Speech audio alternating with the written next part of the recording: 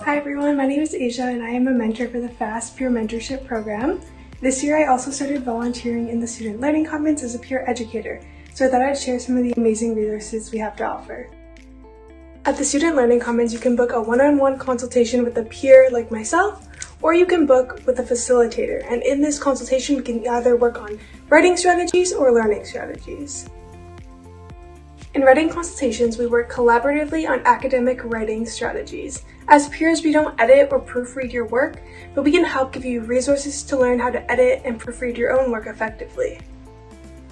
In learning consultations, we can work on exam preparation, note-taking skills, time management, or anything kind of in that general area. Also, if you're taking a French class, the Student Learning Commons offers French academic writing consultations as well. Student Learning Commons also has other great resources like online workshops or services for EAL students. This semester, all of our services are being offered remotely, so you can book online and I'll show you how to do that. To book a consultation, click the link that I put in the description of this video.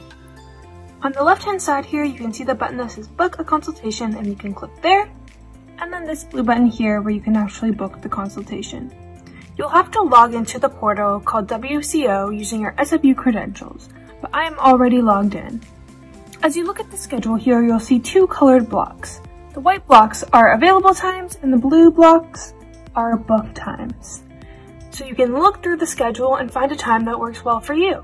For example, if Tuesday with me at 2.30 works well, you can click on the white box, fill in the form here,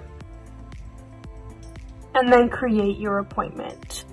When it's the time of your appointment, you will click on the time slot that you are booked and you'll hit the start consultation button. You can either book consultations for 30 minutes or 60 minutes.